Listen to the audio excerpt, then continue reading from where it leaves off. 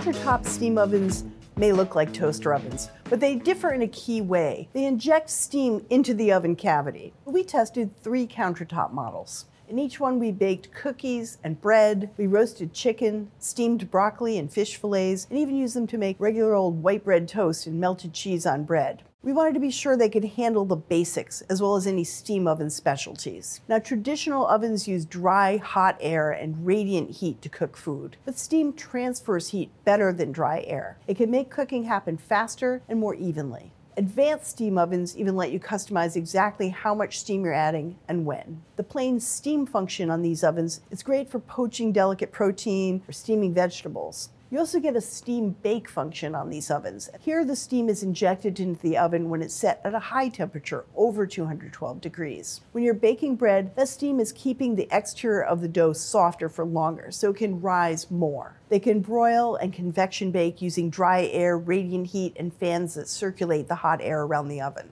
But as we worked with these three ovens, we started to see some major differences, not only in the cooking results, but also in how easy they were to use and maintain. We checked the accuracy of their temperature settings. Some were definitely more accurate. Buttons and settings on every one of these models took a little getting used to. This one by Winter has these little graphic icons that we could only interpret by studying the user manual every single time. Some had hot spots. One baked cookies unevenly. Some also toasted bread unevenly. Only one model gave us picture perfect toast. Racks were sometimes hard to slide in and out, or there were only a few positions where they could be placed, and that limits the oven's versatility. Two ovens also had a flooding problem. After cooking, we'd find condensation pooled on the bottom inside the oven with no way to drain it. We had to go in there with towels and soak up the standing water.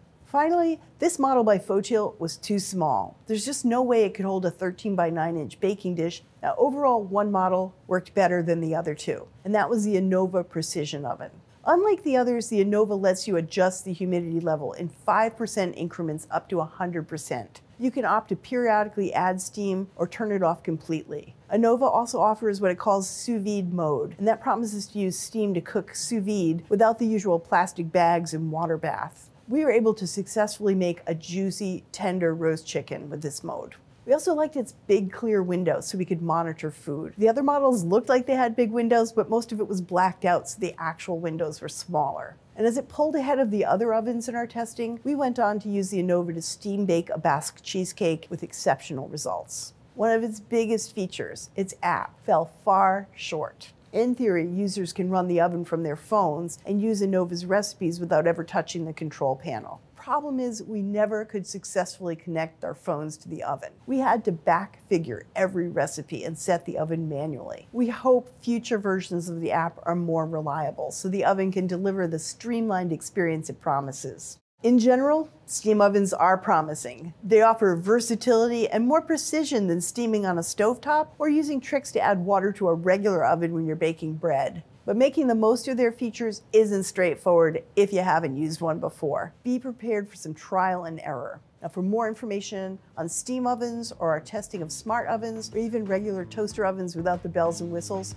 check out americastestkitchen.com. But if you think a steam oven might be right for you, we do recommend the Anova Precision Oven as the best steam oven you can find now.